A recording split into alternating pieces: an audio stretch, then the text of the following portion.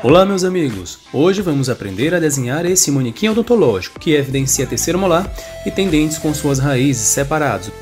Dentre suas utilidades, pode servir para orientar seu paciente, enfeitar sua mesa ou servir como modelo de estudo, planejamento ou hands-on. Se você trabalha com a docência, por exemplo.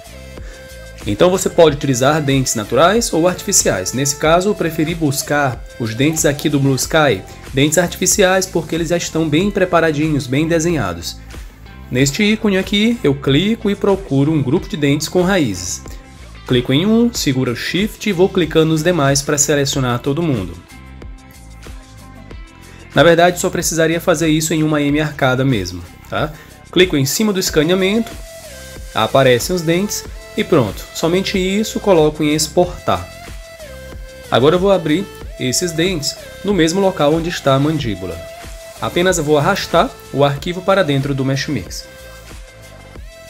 Certo, então, S no teclado, clico fora da malha e fecho o polígono. Aperto E para selecionar tudo e depois Delete. ESC para desligar uma ferramenta, T para começar a movimentar, como sempre digo aqui no canal. Se você quiser usar um Daikon natural para ter uma noção de uma posição mais correta, fica bom. Evitando fenestração também, eu olho de perfil ou em um corte sagital, se você quiser até cortar a mandíbula para olhar, e evita fenestrar por palatina e vestibular. Lembrando que tem mais ou menos 3 milímetros entre a crista óssea e o início da gengiva, é a borda, o bordo gengival, que seria aquele tal do espaço biológico. Então isso ajuda você a posicionar também nesse momento, já que nós não temos a referência da fibra mucosa, da gengiva. Cuidado também para não deixar as interproximais se batendo, assim vai dificultar ou impedir o encaixe dos dentes no modelo após impresso. E aqui vale seu conhecimento também de oclusão, curva de SP, curva de Wilson, é, evitando fenestração, como já disse. Em um próximo vídeo posso demonstrar com a referência da gengiva, e aí você já imprime a gengiva em separado e pode montar também.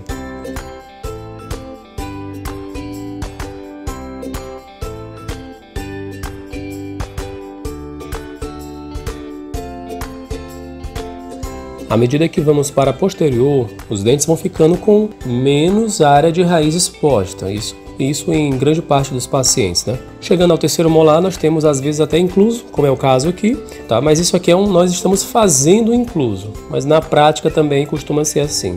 Quanto mais posterior o molar, mais enterrado a nível ósseo ele está por conta principalmente do ramo, da ascendência do ramo.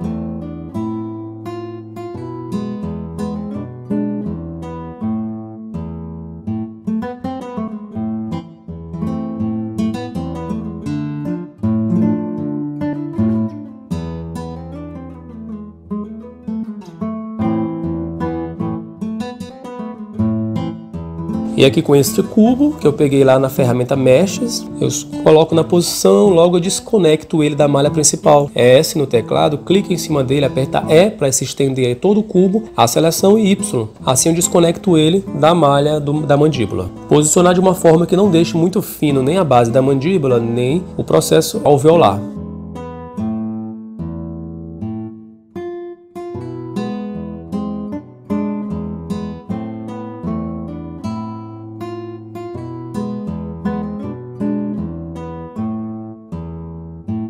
Apertando 5 no teclado e clicando em cima do cubo, eu vou orientar melhor essas setas, essas setas para mudar a posição dele, que são as setas de orientação, é o tal do pivô.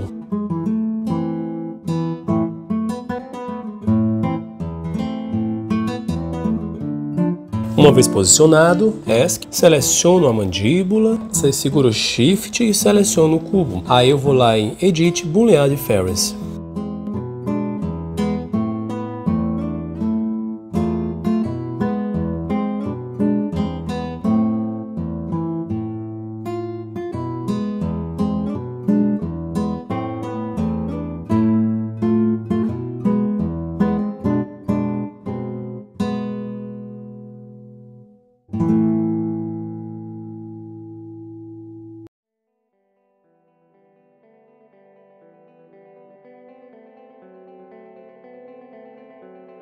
E pegando o segundo molar como referência, cliquei no teclado e movimento ele na posição que eu quero como um terceiro molar incluso. Diminuir o tamanho também dele, porque geralmente o terceiro molar tem um tamanho menor que o segundo.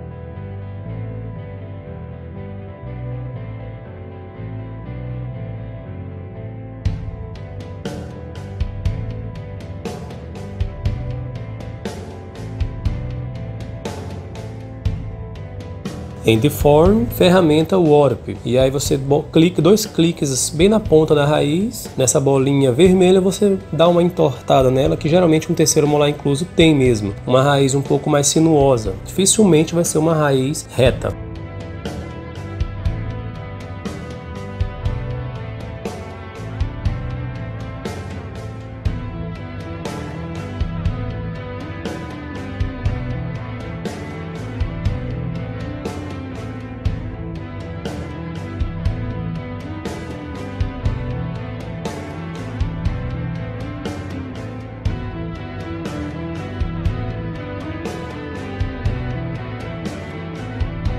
Então, deixando em transparência fica mais fácil. Você pode ir lá em Edit, adicionar um tubo. Selecione Auto Root Smooth, depois coloque na parte Combine Mode, você vai lá e coloca Append.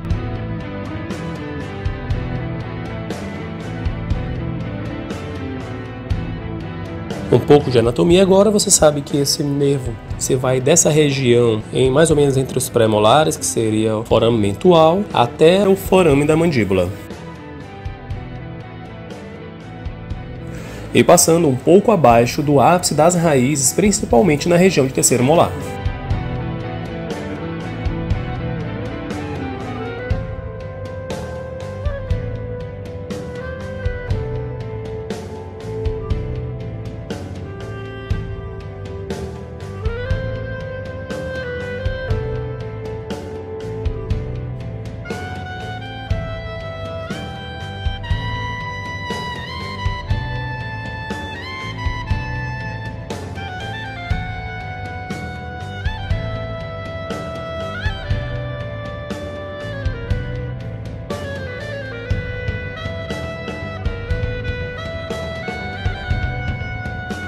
Você pode adicionar o que você achar melhor nesse desenho, como por exemplo cáries, fraturas, ah, dentes extraídos, deixando só o alvéolo. Tudo isso vai servir, por exemplo, se você for dentista, para orientar o teu paciente. Se você for protético, para conversar, comunicar com possíveis clientes dentistas ou outros profissionais que estejam precisando dos seus serviços. E o mais legal é que uma vez você aprendendo a desenhar, pode realizar outros desenhos de outros manequins da forma como achar melhor. Repare que estou posicionando o nervo bem abaixo do ápice de cada raiz.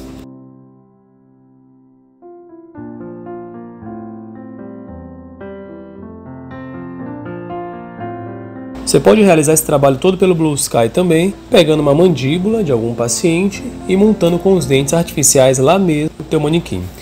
E a partir daí você pode depois exportar já com o nervo em posição, de forma automática pelo Blue Sky, e isso vai te economizar algum tempo.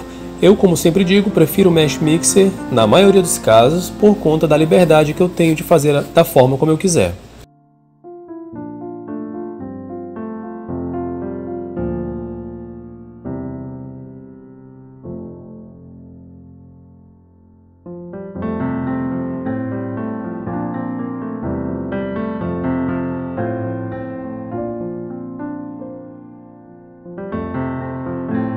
Então, como eu já tinha explicado nesse vídeo, eu só preciso posicionar os dentes com suas raízes de um lado e, aproveitando a suposta simetria que o paciente tem, comumente se tem, ou pelo menos próximo a isso, a gente vai e espelha do outro lado. Edit Mirror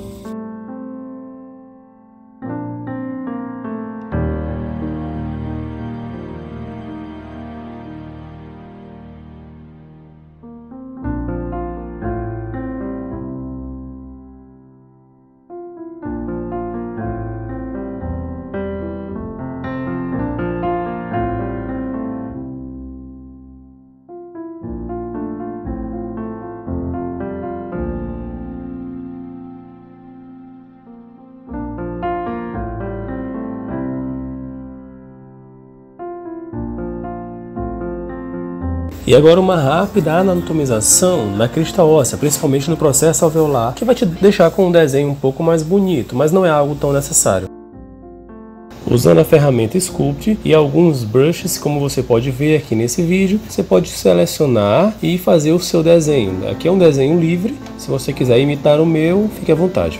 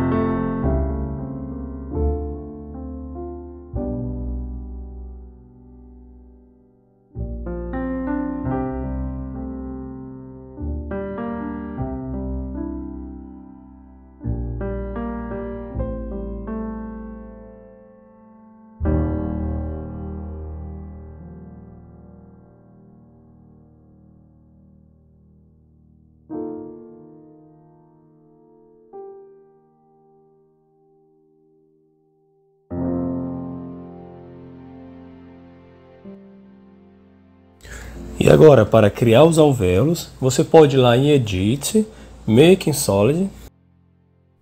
Aí você melhora um pouco a qualidade desse Make in Solid, principalmente nos anteriores, pode colar uma raiz na outra. E isso tornará o seu alvéolo muito esgaçado.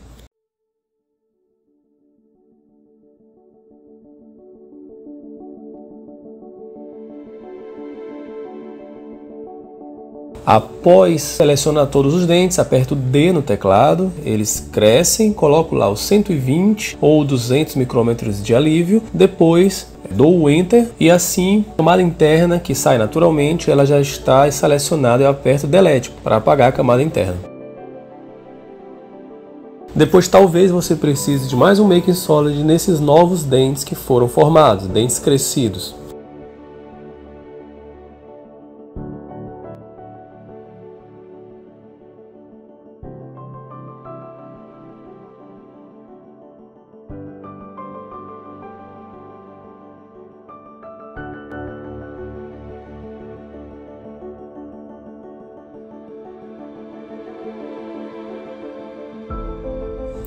E aí vem mais uma vez a ferramenta Boolean Difference. Seleciona a mandíbula, segura Shift, seleciona os dentes crescidos e Boolean Difference.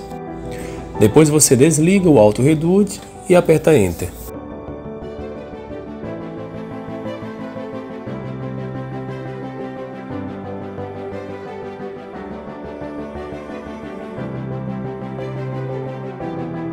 Apertando o I no teclado, você vai selecionar a ferramenta Analyze, onde o Mesh Mix automaticamente vai buscar erros e assim vai poder te ajudar a consertá-los. A maior parte dos erros ele conserta automaticamente, você apenas aperta nessas bolinhas que ele vai consertando.